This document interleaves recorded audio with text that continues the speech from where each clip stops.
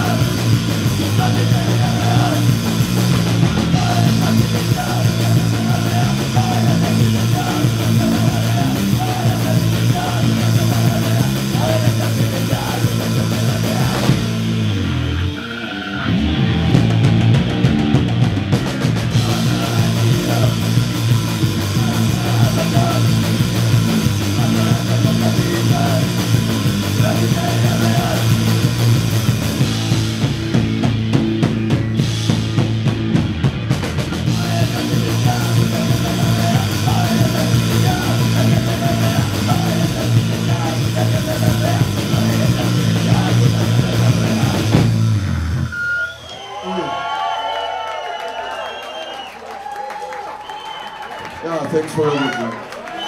Cheers. Thank you.